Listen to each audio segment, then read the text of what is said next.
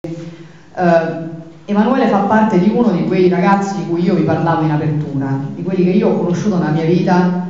che mi danno uh, la dimensione del perché valga la pena continuare anche quando sembra difficile. Ci sono persone che io ho incontrato in questo percorso e tu le puoi sempre guardare negli occhi e sai che non ti deluderanno,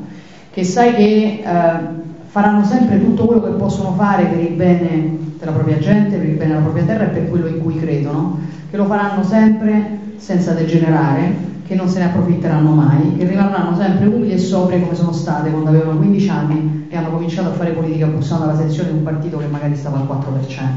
Io credo che valga la pena di dare fiducia a queste persone, ma non semplicemente di votarle, credo che valga la pena di accompagnarle perché proprio perché la politica non è un percorso individuale, noi non dobbiamo mai far sentire queste persone sole e quindi noi dobbiamo essere la loro comunità, la loro forza, il loro entusiasmo e anche il loro grillo parlante quando domani dovessero sbagliare. Quindi vi chiedo non solamente di votare, vi, chiedo di darmi una mano, di essere e di fare questo percorso con loro oggi e domani che avremo di nuovo eh, confermato il nostro sindaco e che avremo di nuovo confermato Manuele Consigliere.